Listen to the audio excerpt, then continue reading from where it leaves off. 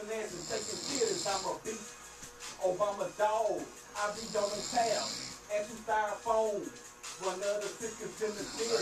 I do it, do it really.